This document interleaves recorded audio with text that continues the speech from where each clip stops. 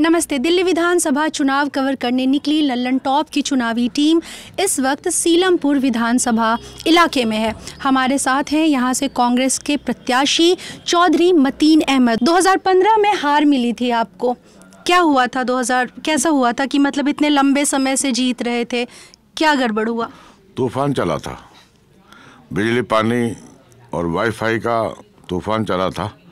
लोगों को लगा कि ये हमें ज़्यादा फ़ायदा होगा।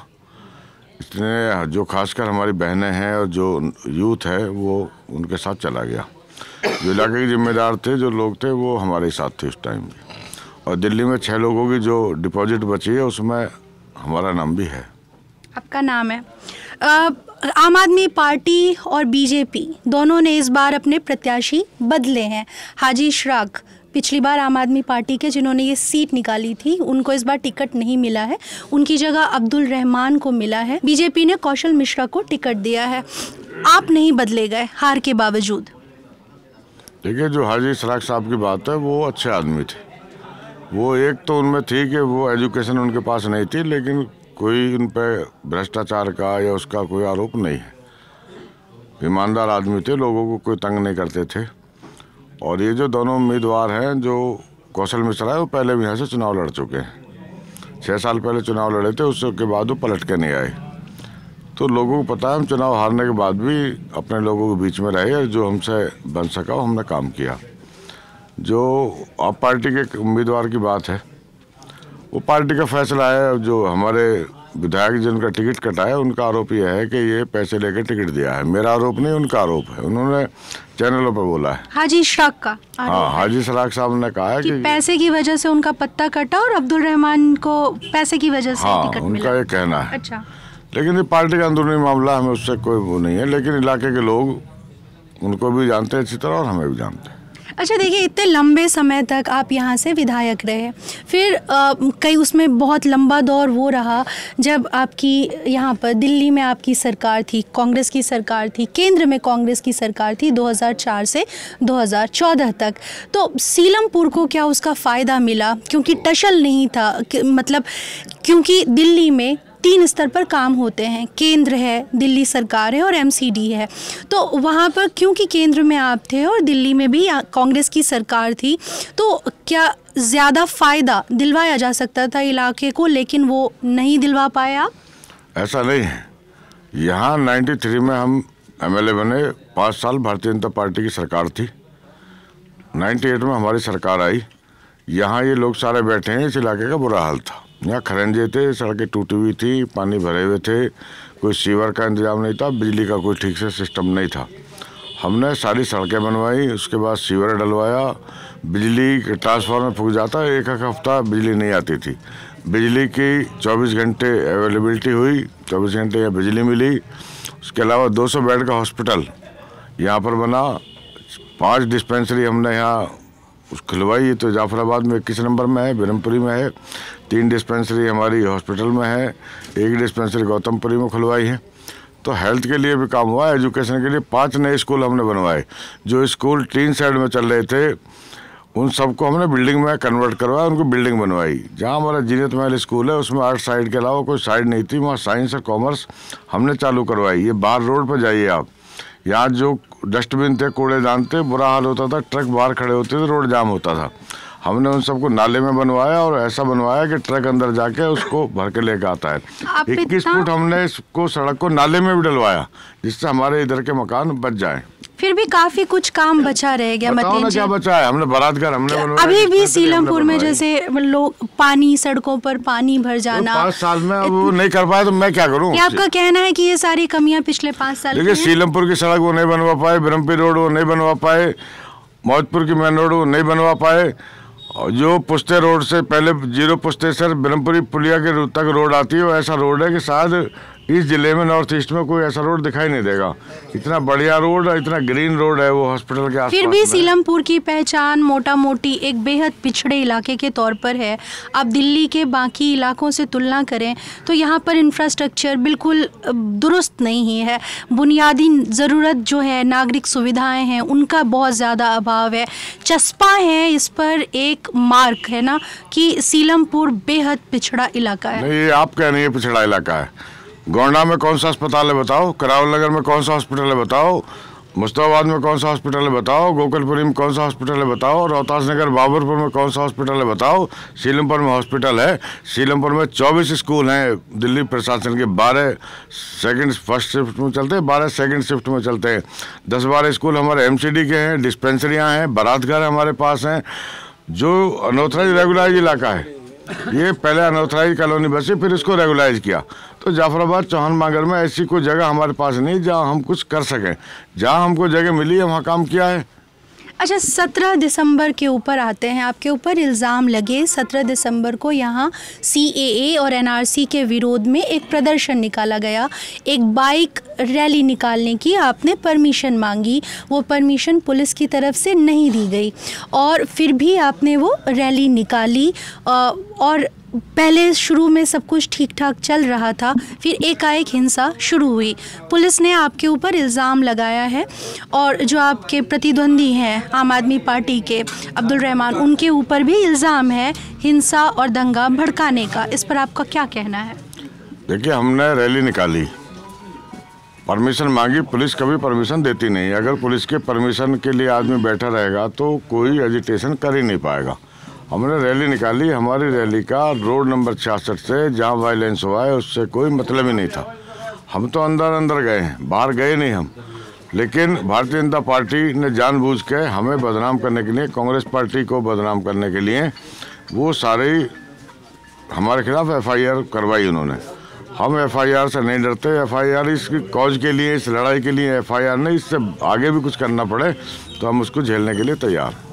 अच्छा मतलब आप कानूनी लड़ाई के लिए तैयार हैं? बिल्कुल कानूनी की लड़ाई भी लड़ेंगे एजिटेशन भी करेंगे विरोध भी करेंगे वो मुकदमा दर्ज करना चाहें और कर दें। लेकिन जब कोई नेता या कोई राजनीतिक पार्टी किसी एजिटेशन का नेतृत्व करती है ठीक है लोगों को जमा करती है तो क्या उस प्रदर्शन की उस रैली की ज़िम्मेदारी उस नेता या उस पार्टी की नहीं होनी चाहिए कि हालात बदतर ना हो कोई दंगा कोई फसाद ना हो? लेकिन जहाँ पे वायलेंस हुआ वहाँ हम गए नहीं। दूर तक नहीं गए। हमारा कोई आदमी नहीं गया। यहाँ तो हज़ारों बीस हज़ार आदमी सड़कों पर खड़ा था वो किसी नेता के कहने से थोड़ा ही खड़ा था। अच्छा आपको क्या लगता है क्या हुआ था उस दिन? देखिए जब दस बीस हज़ार पाँच हज़ार दो हज़ार लोग खड़े हो कोई भी पत्थर मार देगा मैं तो कहता हूँ भारतीय जनता पार्टी के लोग आए उन्होंने चार पत्थर चलाए वो तो बैक हो गया काम शुरू हो गया। भारतीय जनता पार्टी के लोगों ने फ़ायदा बीजेपी को हो रहा है उससे किसी और को थोड़ा ही हो रहा है। सी ए एन आर सी ये अब ना चाहते हुए भी कई लोगों के एक मुद्दा हो चुका है ठीक है? दिल्ली विधानसभा चुनाव का मुद्दा हो गया है। कह रही है बीजेपी की कांग्रेस बताए क्या वो हिंसक प्रदर्शनकारियों के साथ है क्या वो अराजक तत्वों के साथ है? आप बताइए क्या स्टैंड है? देखिए हिंसक प्रदर्शन या अराजकता के साथ कोई भी नहीं हो सकता। मैं भी नहीं हूँ मेरी पार्टी भी नहीं लेकिन अगर कुछ सड़क पर जाके अपने आप उसको करने लगे तो उसमें कांग्रेस का क्या इन्वॉल्वमेंट आ गया? और जहाँ तक कांग्रेस पार्टी की बात है, हम सी ए का विरोध कर रहे हैं। इन्होंने संविधान के साथ धोखा किया है। संविधान की मूल भावना में यह है कि इस देश में रहने वाले हिंदू, मुसलमान, सिख, ईसाई, जाति, धर्म सब बराबर हैं। ये जो एग्जामेशन इन्होंने दिया, हिंदू भाई बाहर से आए, हमें कोई दिक्कत नहीं आप उन्हें नागरिकता दे दो। लेकिन ये एनआरसी में हमें प्रॉब्लम करेंगे मुसलमानों पर अगर कागजात नहीं मिले डॉक्यूमेंट नहीं मिले तो उन्हें प्रॉब्लम करेंगे। हम उसका विरोध कर रहे हैं और हम करेंगे। इन इल्ज़ामों पर आप क्या कहेंगे कि बीजेपी का कहना है कि जो नेता हैं कई विपक्ष के नेता हैं वो गुमराह कर रहे हैं मुस्लिम आबादी को। उनमें बेकार का खौफ पैदा कर रहे हैं एनआरसी और सीए के लिए। उनको गलत जानकारियाँ दे रहे हैं बेजा डर उनके अंदर बिठा रहे हैं। इस पर क्या कहेंगे देखिए मोदी जी कुछ कहते हैं अमित शाह कुछ कहते हैं। अमित शाह क्यों नहीं बोलते? वो तो ऐसे देते मतलब बोलते हैं जैसे कोई बदमाश कोई बोलता हो, तड़ी देता हो, उस तरह तड़ी दे रहे हैं वो। एनपीआर में आप मेरे माँ बाप का जन्मतिथि पूछ रहे हो, मेरे माँ बाप का जन्म स्थान पूछ रहे हो जन्म स्थान तो मैं बता दूँगा, लेकिन जन्मतिथि तो हमें अब ठीक से अपनी नहीं पता माँ बाप यहाँ से बना देंगे। इस तरह की आप परफॉर्मा क्यों बना के ला रहे हैं? इसलिए लोग डाउटफुल हो जाए, उनको प्रॉब्लम की जाए। आपका जो सिस्टम है आप सबको ठीक करो ना। हम ये कहते हैं कि राम सिंह और मोहम्मद अली के साथ एक जैसा बर्ताव होना चाहिए। अगर राम सिंह पर कागज़ नहीं है और मोहम्मद अली पर कागज़ नहीं है अगर निकालना है तो दोनों को निकालो रखना है तो दोनों को रखो। अगर दिल्ली विधानसभा चुनाव का मुद्दा बनता है सी ए एनआरसी ठीक है? तो आपको क्या लगता है कांग्रेस को फ़ायदा होने वाला है या नुकसान होने वाला है? तो मुद्दे की बात नहीं हम तो इस लड़ाई को लड़ रहे हैं और कांग्रेस पूरे देश में इस लड़ाई को लड़ रही है। और जिसके साथ भी अन्याय होगा, हम उसके साथ खड़े होंगे, कांग्रेस पार्टी उसके साथ खड़े होगी। हमें लगता है कि माइनॉरिटी के लोगों के साथ इसमें जाती हुई है। उनको परेशान करने के लिए छः साल हो गए बीजेपी को, इसके अलावा और कोई काम नहीं है। सिर्फ़ हिंदू, मुसलमान, पाकिस्तान, कश्मीर, चौथी, पांचवी बात हमने सुनी नहीं है। रोज़गार पर कोई बात नहीं है। सीलिंग हो रही है दिल्ली में, लोग परेशान है, उस पर कोई बात ही नहीं कर रहा। महँगाई पर कोई बात नहीं कर रहा है। इसी में सारे देश को इन्होंने हिले में लगा रखा है। अच्छा मुख्यमंत्री का चेहरा कौन होगा कांग्रेस की तरफ़ से? देखिए चेहरे की बात नहीं है चेहरा हमने मध्य प्रदेश में लड़ा हमने वहाँ भी कोई चेहरा डिक्लेयर नहीं करा था। जब हमारी सरकार बनेगी तो हमारे पास बहुत चेहरे हैं और जो विधानसभा में जो चुन के जाएँगे लोग वो तय करेंगे और हमारी जो कांग्रेस प्रेसिडेंट है सोनिया गांधी जो तय करेंगे उसको सब लोग मानते हैं। आम आदमी पार्टी कह रही है कि कोई चेहरा है नहीं केजरीवाल के मुकाबले विपक्ष के पास कांग्रेस के पास कोई चेहरा नहीं है। ऐसा कैसे हो सकता है चेहरा नहीं है? और केजरीवाल खुद चेहरा नहीं, उन्हें पता लग जाएगी ना। ग्यारह तारीख को जब गिनती होगी, कौन चाह रहा है? लोगों को एडवर्टीजमेंट के दम पर सरकार पब्लिक के पैसे के दम पर वो पाँच साल वहाँ एडवर्टीजमेंट करते रहे। अब लोगों में जाके देखो ना, लोगों को। अब मेरे इलाके में देखो ना, पचासों के लिए टूटी पड़ी है, कोई ठीक करने वाला नहीं। कौन सा डेवलपमेंट किया उन्होंने? अस्पताल के सारे लोग खड़े हुए। आप मालूम कर लो उनसे, अस्पताल में ना डॉक्टर है, ना दवाइयाँ हैं, कुत्ते घूम रहे हैं, कुत्ता काटने का इंजेक्शन तक नहीं है। क्या आपने सुधार कर दिया उसमें? स्कूलों में क्या तूफ़ान कर दिया उसमें आप जीनत महल में आपने सीमेंट हटा के टायर लगा दी हमारी। उसके अलावा टीचर आपके बड़े हों, स्टूडेंट कोई बड़े हों, आपके रिज़ल्ट इम्प्रूवमेंट हुआ हो तो बताओ। कमरे बनाने से थोड़ा ही कुछ होता है। अच्छा ये बताइए चौधरी मतीन की, आपके हमने पोस्टर्स देखे इलाके में, है ना? तो आप थोड़े अब बुज़ुर्ग हुए हैं, है ना? पोस्टर्स में काफ़ी जवानी वाला चेहरा है। दोबारा फ़ोटो नहीं खिंचवाई क्या? या मतलब अच्छा लगता है कि जब इलाके के वोटर्स देखें तो जवानी का ही चेहरा देखो। मैं खाली फ़ोटो का मैं तो दिन भर इन्हीं के बीच में रहता हूँ। तो, तो मैं फ़ोटो में अपडेटेड चेहरा क्यों नहीं है? अपडेट अब हो जाएगा चुनाव जीत जाएँगे अपडेट हो जाएगा। असली वाला लगा देंगे अभी नकली लग रहा है आपको।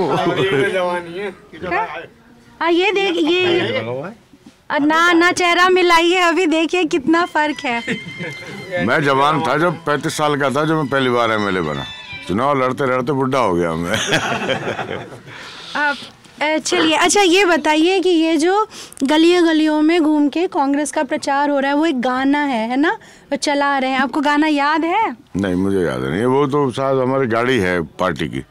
वो उसको चला रही है। अपना गाना चुनाव प्रचार वाला नहीं ध्यान है? नहीं मुझे ध्यान नहीं। ध्यान नहीं है। अच्छा ट्विटर हैंडल देखते हैं अपनी पार्टी का? कैसे कैसे क्या चल रहा है ट्विटर पर? बहुत कम। टाइम नहीं होता इतना। अभी आगे दौड़ना है मुझे कई जगह। आगे दौड़ना है। हाँ जो मेरे फैमिली है जो मेरे बेटे हैं वो मेरा बेटा एक जी न्यूज़ में भी है और जो कर रहे हैं वो सब उसको हैंडल करते हैं। मेरी ज़रूरत होती है मुझे बता देते हैं मैं उस पर बात कर लेता हूँ। चलिए आपने हमें वक्त दिया इसके लिए बहुत शुक्रिया। ये थे चौधरी मतीन है ना? आठ तारीख को दिल्ली लोक, दिल्ली विधानसभा चुनावों के लिए वोटिंग होने वाली है। ग्यारह तारीख को वोटों की गिनती होगी और नतीजे सामने आएँगे। क्या होगा, कैसे होगा, तब देखा जाएगा।